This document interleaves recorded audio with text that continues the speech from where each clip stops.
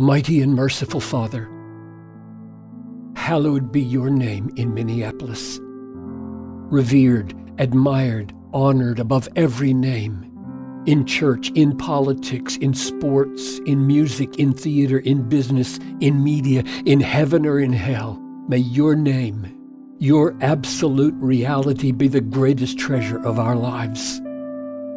And may your eternal divine Son, Jesus Christ our Lord, crucified for sin, risen from the dead, reigning forever, be known and loved as the greatest person in this city.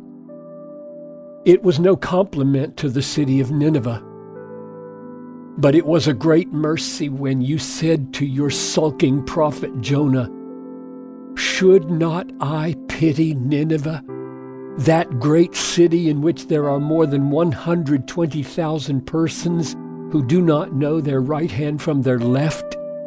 Oh, how kind you are to pity our folly rather than pander to our pride. Jonah could not fathom your mercy. His desire was the fire of judgment. And you stunned him and angered him with the shock of forgiveness. And have we not heard your son crying out to the city that would kill him? Oh, Jerusalem, Jerusalem, the city that kills the prophets and stones those who are sent to it. How often would I have gathered your children together as a hen gathers her brood under her wings, and you were not willing? Oh, how large is your heart towards cities in their sin and misery. Yes, we have heard you speak mercy to great cities. Did you not say to Jerusalem, this city shall be to me a name of joy, a praise, and a glory before all the nations of the earth. They were not worthy, not any more than Nineveh or Minneapolis. But you are a merciful God, slow to anger and abounding in steadfast love and faithfulness. And what are we? Debtors whose only hope is grace. For we could never pay back the honor we have stolen from your name. How precious then is the lightning bolt of truth that Christ Jesus came into the world to save sinners. And for what have you saved us, Father? To what end did you forgive and cleanse and free and empower your people? You have told us. In the coming ages, I will show the immeasurable riches of my grace in kindness toward you in Christ Jesus. Yes, that is best. You are your best gift to us. But that's a long way off, Lord. What about now? For now, we live in Minneapolis, not heaven. This is our home away from home. We love our city. We love her winters, yes, we do, and cherish her spring. We love her great river and her parks, her stadiums and her teams.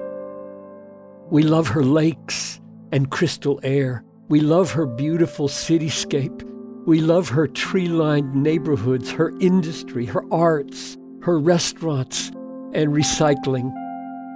And we love her people, her old immigrant Swedes and her new immigrant Somalis, her African Americans, her Asians, her Latinos. We love those with so many genetic roots they don't know what box to check.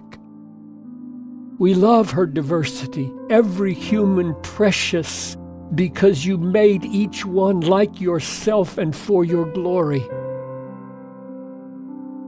This is our home, away from home.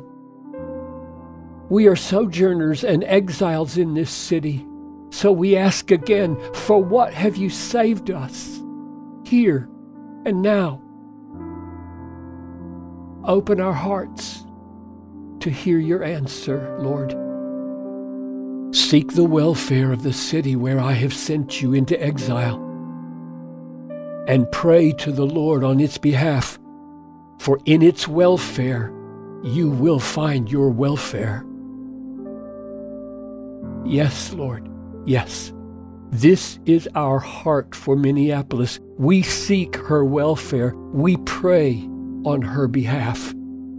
For those who knew George Floyd best and loved him most, bring them your consolation and direct their hearts to the God of all comfort. For Derek Chauvin, who put his knee on Floyd's neck for seven minutes until he died, we ask for the mercy of repentance and the judgment of justice.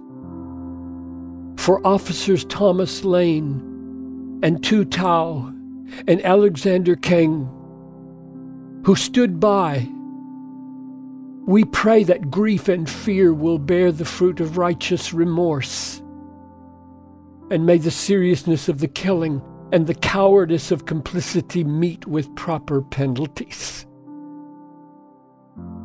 for the upright police who have watched all 10 minutes of the unbearable video of Floyd's dying, who consider it horrific and inhuman, who find it unbelievable that Chauvin did not say a single word for seven minutes as the man under his knee pled for his life, and who lament with dashed hopes that they must start again from square one to rebuild what meager trust they hope to have won.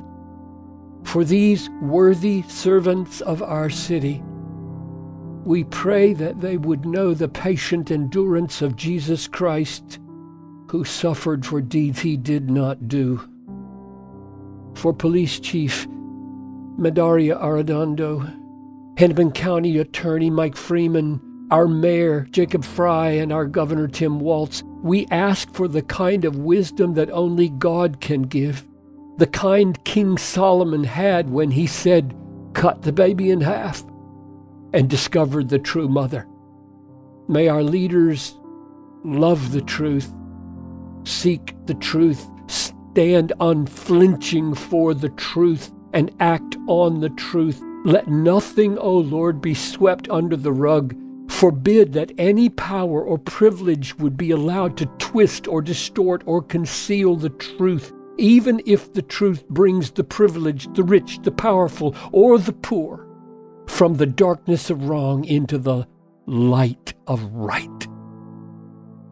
For the haters and the bitter and the hostile and the slanderers of every race, we pray that they will see the light of the gospel of the glory of Christ. We pray that the light will banish darkness from their souls, the darkness of arrogance and racism and selfishness.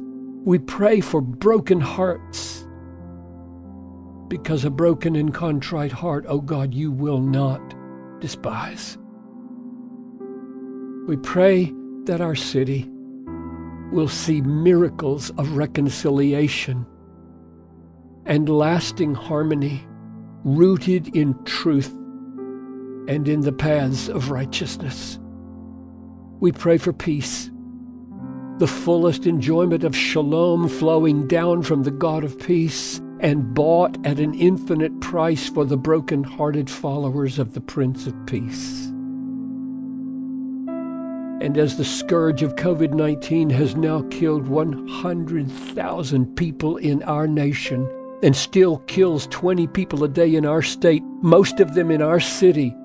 And as the virus wreaks havoc with our economy and riots send lifetimes of labor up in smoke and the fabric of our common life is torn, we pray that the compounding of sorrows will not compound our sins, but send us desperate and running to the risen Savior, our only hope, Jesus Christ.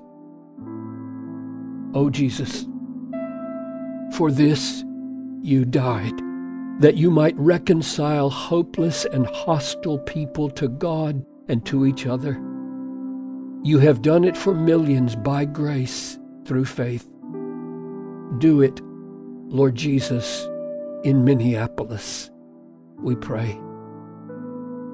Amen.